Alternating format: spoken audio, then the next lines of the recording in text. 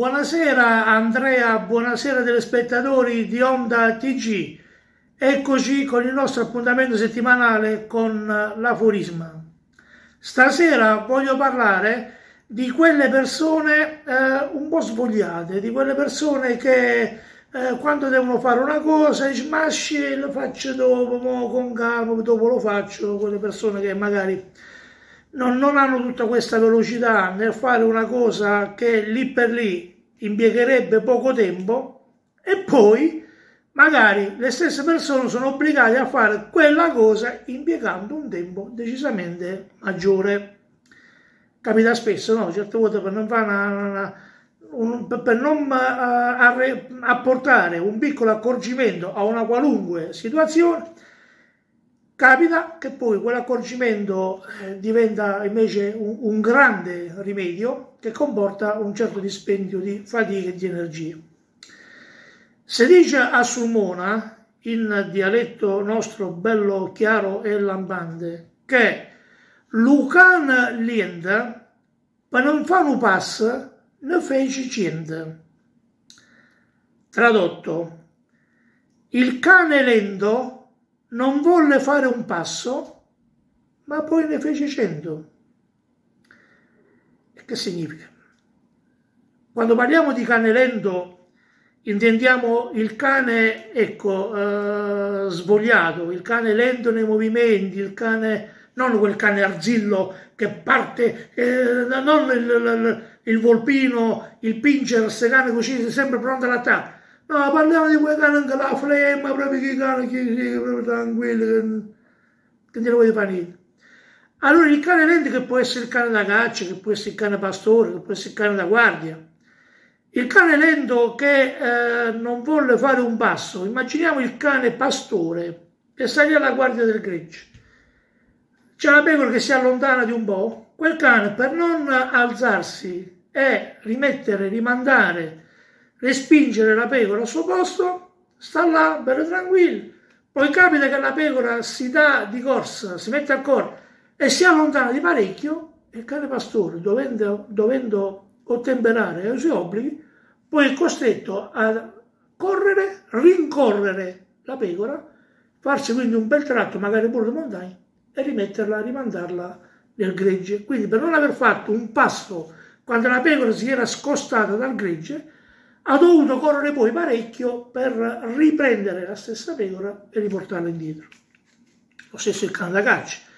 Quante volte magari il cane da caccia per non andare a eh, stanare eh, una selvaggina dietro una siepe,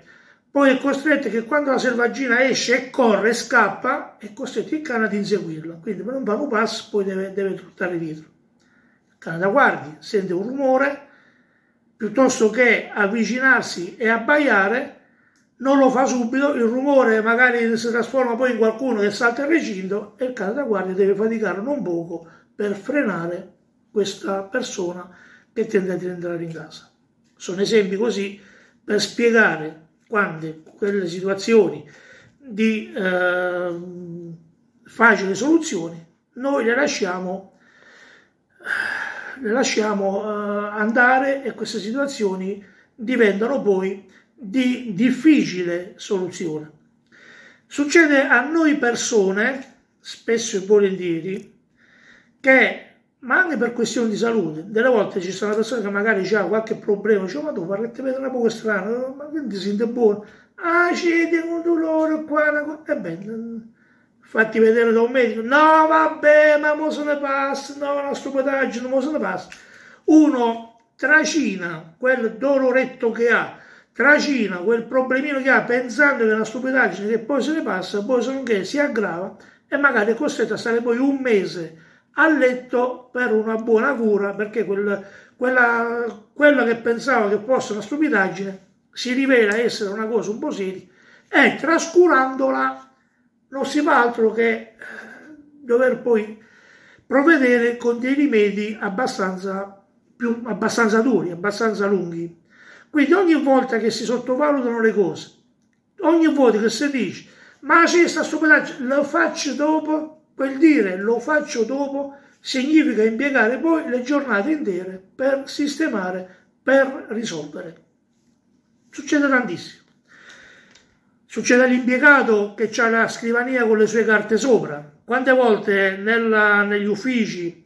c'è l'impiegato che c'è il vizio di piana pratica, dice, ah, questo sì, ma sì, dopo, dopo la faccio e la mette là. Arriva un'altra pratica, ma sì, sì, dopo la faccio gli si fa una pila di pratiche che poi per fare quella pila di pratiche non gli bastano i mesi. Allora tutto quell'insieme di lavoretti che si potevano fare in mezz'ora, un quarto d'ora, ognuno, a mucchia di là diventano poi un lavoro di parecchi giorni che, di fronte al quale passa anche la voglia di farlo, perché poi subentra anche lo scoramento, dice, oddio, e poi mi regalo a fare tutte queste cose, oddio, e dopo mette la mano. Ecco quindi il fatto di, del cane lento che non fanno un pass, poi ne fece 100 e quindi il cane lento sono tutte quelle persone che per non fare una, eh, una cosa così rapidamente in 448 poi corrono al punto tale da non arrivare più con i loro tempi. Parlando di cani invece non lenti, ma di seguci, quindi di cani di razza veloci, Fatemi fare gli auguri, eh, non perché sia un cane, ma perché è un vero segucio, a una persona, un imprenditore di Sulmona, a Evaldo Ranalli, un imprenditore eh, qua nel, nostro, del, della nostra vallata di Sulmona, che lo scorso weekend ha festeggiato 60 anni, ha, fatto, eh, ha festeggiato il compleanno 60 anni. E mi dicono dalla regia che ha fatto una bella festa alla quale hanno partecipato diverse persone. Lui è un imprenditore nel ramo degli infissi, dà da lavoro a diverse persone e in questi tempi così difficili dove tante ditte purtroppo non ce la fanno o tanti cani lenti si demoralizzano, il buon Evaldo invece è uno di quelli che corre, corre subito e ha avuto il coraggio di ampliare la sua attività spostandosi addirittura in un'altra sede di fronte alla Magneti Marelli, ha ampliato la sua attività, data lavoro a parecchie persone, ma per noi di Onda TV, lo dico francamente, dico per noi, anche se io non faccio parte di Onda TV, ma la sento come una mia famiglia, per noi di Onda TV Evaldo è uno di quegli imprenditori, è una di quelle persone che ci ha sempre dato fiducia, ha sempre dato la sua collaborazione, si è sempre rivolto a Onda TV per le sue pubblicità, per qualunque cosa, quindi è uno dei, dei sostenitori di questa nostra piccola emittente che in questi tempi altrettanto difficili, specialmente ora c'è stato pure il cambio di canale, qua con un problema di segnale, se vede non si vede, eccetera, Evaldo è stato una di quelle persone che ha contribuito a mantenere in piedi e a far migliorare la qualità dei servizi offerti da Conte TV. Non è l'unico, ce ne sono tanti altri di imprenditori come lui. Altri purtroppo invece davanti alla prima difficoltà hanno preferito non fare più, eh, cioè non, non, collaborare più con Onda TV. Ma lui invece, io gli faccio volentieri gli auguri a nome mio e a nome di tutto lo staff di Onda TV, più che altro per la sua fedeltà alla nostra emittente, per, sua, eh, per il suo buon cuore, oltre al fatto che dà da lavoro a diverse persone. E io in qualità di sulmonese, di sulmondino, che vedo eh, buono qualunque cosa di bello che si fa per questa vallata, laddove si fa qualche cosa di bello per questa vallata, io sono sempre contento, faccio anche una, um, come si dice, faccio anche eh, i miei complimenti a coloro che stanno organizzando la giostra cavalleresca, perché sabato e domenica prossimo, per fortuna, dopo due anni di stop forzato, si rifà la giostra cavalleresca e con grande orgoglio da maresciallo dei carabinieri dico che quest'anno partecipano alla, alla giostra cavalleresca di Sulmona, sia sabato 30 che domenica 31, parteciperà un trappello del quarto carabinieri del quarto reggimento carabinieri a cavallo di Roma,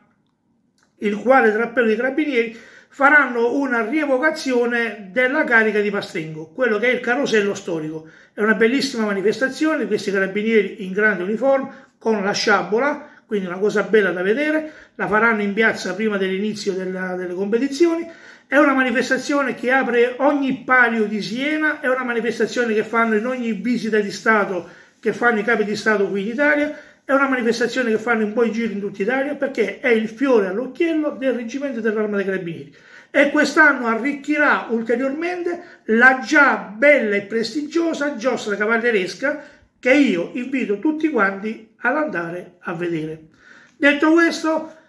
vi saluto a tutti, vi auguro buona giostra e eh, congratulazioni di nuovo a Evaldo Ranalli per il suo sessantesimo compleanno. Continuate a seguire Onda TV, anche se c'è ancora qualche piccolo problema tecnico, non ci abbandonate, presto vi daremo un servizio migliore.